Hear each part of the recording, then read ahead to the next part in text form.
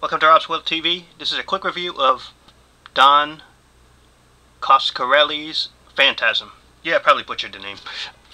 And Phantasm, here's the, the back.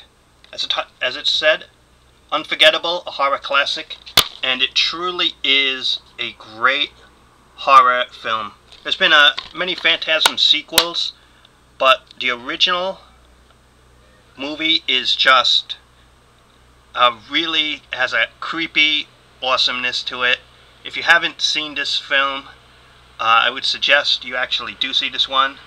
Uh, and if you can, get the DVD or Blu-ray. Probably during uh, October, you'll see this on TV playing. But it's just a really good film.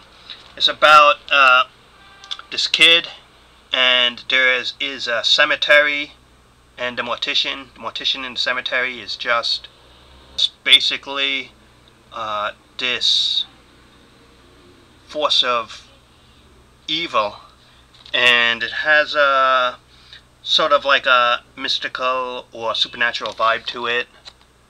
And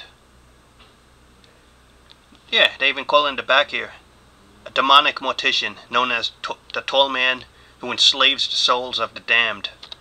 And it's a really uh, good movie if you haven't seen the Phantasm, especially the first one, not the sequels, you really should check this one out.